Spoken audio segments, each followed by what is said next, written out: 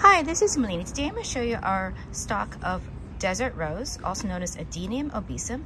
It's from South Africa, and this is about two years old, roughly.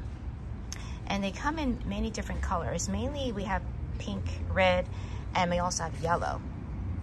Desert rose also have white flowers. Um, right now I only see pink, red, and yellow. They're deciduous succulent shrubs which means they drop their leaves in the winter and return sometime in the spring and summer. Sometimes you might see the leaves come out throughout the whole year. It depends on um, the weather at that time.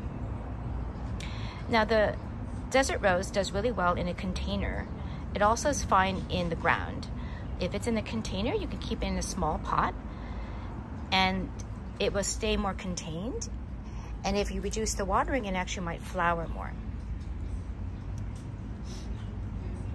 If it's in the ground, they can grow up to about 10 feet tall. And as you see here, see this is a little large, this is an older version than that one.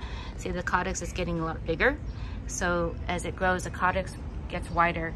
Um, this is a, a, lot, this is a little bit older than the other one I showed you. And then here's a about five, roughly five to six years old. And this is a more mature um, variety of a desert rose.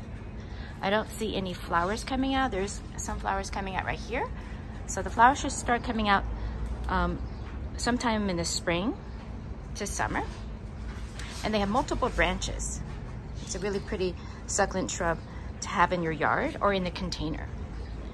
It's not frost or cold hardy, so you want to protect it from extreme cold and frost.